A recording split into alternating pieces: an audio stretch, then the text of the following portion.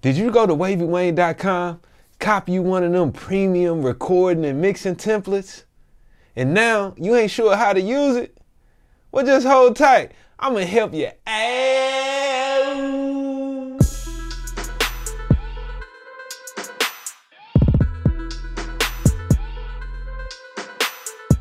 What up, y'all? This your boy Wavy Wayne, and I'm here today to break down how to use a template in Pro Tools. Now, of course, the best templates can be found at wavywayne.com, but you know, they got stock Pro Tools templates. You probably, you know, can find some templates. You can even make your own recording template. But I'm gonna walk you through today, step by step, how you can use the templates that you find on my website, wavywayne.com. All right. First thing first, when you go to wavywayne.com and choose your recording template, now I have some genre specific templates like hip hop, R&B templates. I also have one template that's specifically for um, anybody that's using the Waves bundle plugins, all right? And most of the other templates will be just stock plugins um, being used in those. So if you just had a stock Pro Tools plugins, those will work great for you. Make sure you read the description and know which template is gonna work, all right? So when you get the template, you're gonna receive a download link right there after you purchase that template. And then there also will be another download link sent to your email just to make sure that you can download this, okay? You're gonna download this and it's gonna be a PTXT. Now, PTXT is the Pro Tools 10 template file format. Now, yeah, I'm sure y'all used to working with PTXs, but a PTXT is a slightly different file and it's gonna allow you to create a brand new session based on that template that you've chosen, all right? Now, the first thing, all you got to do is simply double click on that PTXT file wherever you find it at. Or in, if you already have Pro Tools open, you can go to File, choose Open Session, just like you would any other session, and find this PTXT and open that up.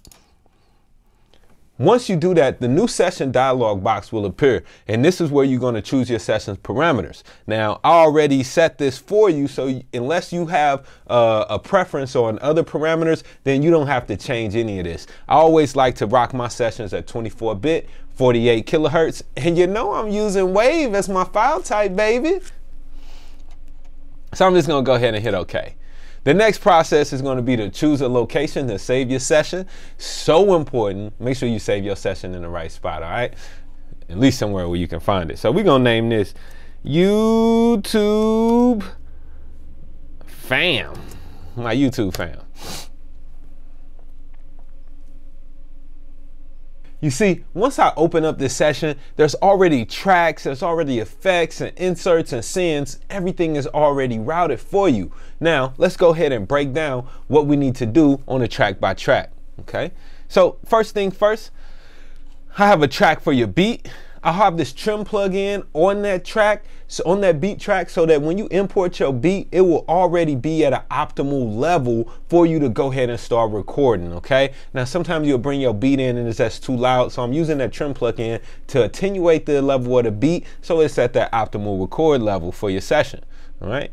Yes, we got a vocal track with some uh, effects, some of my favorite uh, uh, vocal processing effects right here on the inserts. And then on the send side here, I'm sending over to some of my favorite time-based effects, like a couple of delays, a couple of uh, a reverb, and a wide effect. Those tracks are represented down here in green. All right. Now, to be specific, this is the Wavy Wayne Waves plugin template that I'm using right here. Um, so the template that you might be using might vary a little bit, but the way that we use them is pretty much going to be the same, okay? Now, once I got my template open, one of the first things I'm going to do generally in a session is go ahead and uh, import whatever beat I'm going to use. So I'm going to just go ahead and hit Shift Command I, navigate over to the desktop where I've saved this instrumental. Let's just, uh, we can just add that for now. Done. And instead of pulling this over into a new track in Pro Tools, I'm just gonna actually go ahead and drop this off into my clips list because I already have a track that I'm gonna use for my beat. Now that the new file is over in my clips list, I'm just gonna go over to my uh, little selector button here and I'm going to drag and drop this file from the clips list onto that beat track. Just make sure I get it all the way over to the beginning so we're starting at the top. Then I can just collapse the clips list. Right.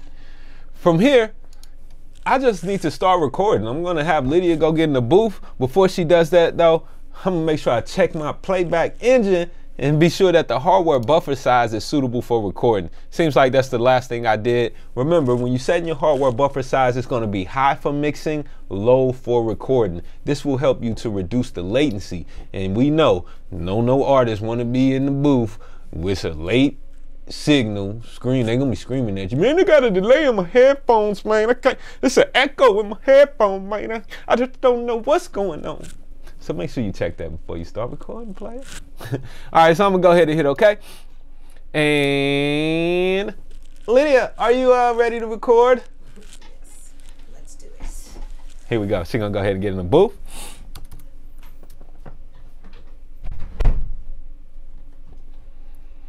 So I'm just gonna record on my track as I'm waiting on Lydia to get in the booth and uh, tell me that she's ready. Hey Lyd, whenever you ready, just uh, give me a holler. Oh, hold up. I might need to do something.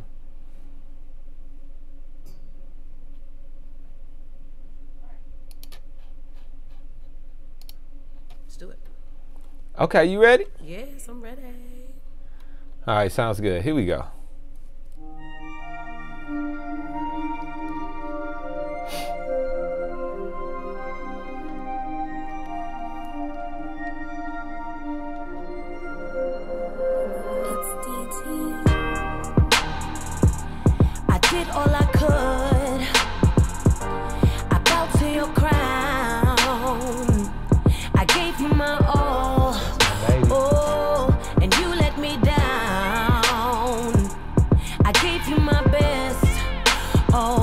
Didn't make love to nobody else.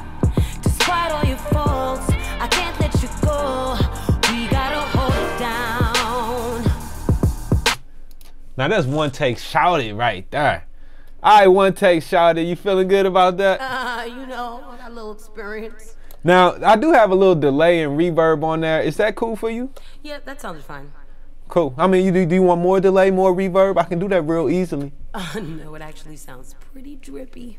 See, it's already drippy, baby. You know, this already sounding like the mix is pretty much done. Again, we already hitting her with some compression. We already getting her with a little EQ, and and without touching anything, you see, I'm already using some uh, a little reverb and a little delay, and I can easily at any time, even during recording, increase the level of reverb or decrease it and delay all my effects. That's the beauty of using this template is that everything that you need to start your mix, even as you are recording, is already set up for you and you can just work a whole lot quicker. Now, you're gonna say, Wavy Wayne, there's only one vocal track in that session, baby. Well, let me tell you this. Of course, there's only one vocal track because I like to keep my sessions clean. Now, after she's done with that take, if I need another track, all I have to do is simply duplicate the um, vocal track here. So using the shortcut Shift Option D, or you can go to the track menu and choose duplicate. You can even right click on the track's nameplate and choose duplicate. But before I duplicate this track, there's a few things that I want to address here in the duplicate dialog box. One, active playlist. I don't need that on, so I'm going to turn that off. All right. Alternative play, alternative, alternate playlist. Can I read today?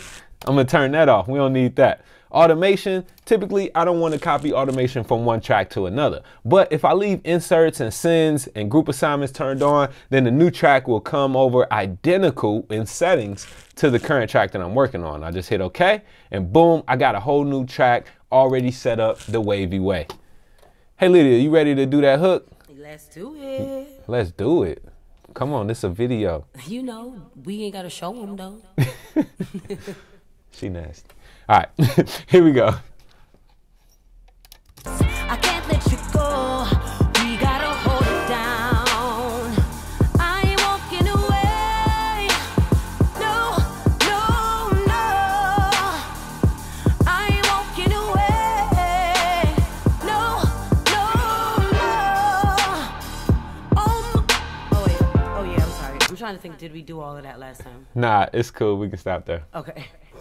All right, so just as easy as that, we got a second track. And again, to get another one, I'm just gonna shift option D. You see, I don't have to uh, uh, uncheck those things. Pro Tools will remember that. Just hit OK, and I can continue recording and making new tracks. All right.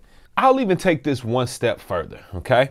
Um, before you start recording and import your beat, if you want to add this template to your Pro Tools template folder. So it's already in that little section when you start up a session and you can just hit create a session from template. You can have it there. Um, this is how you would go about that. Again, you don't want to do this after you've already started recording and import beats because these audio files will come along with it. But here we go. I'm just going to go to file, save as a template. When I do this, I can choose what category, and I have a category on my computer called Wavy Temps. You might want to go ahead and create a category for that as well. Um, but you see you can go to any of these templates maybe record and mix and you can save it there and I can call this the YouTube fam template and hit OK. And the next time when I go to start a new session if I just hit command in here if I hit create a session from template choose my category record and mix and scroll down YouTube fam template is right there in the session to open up just like we saw it in the beginning, all right? Thanks for watching, y'all. This is how you set up a Wavy Wayne template. This is how you can save your templates and use them effectively in your session. I hope this helped you. If it did, give this video a thumbs up. Make sure you go over to wavywayne.com, copy some of this studio swag, copy some of these dope, dope templates that's gonna take your mixes from zero to 100 real quick. You feel me? And uh, most of all, be dope.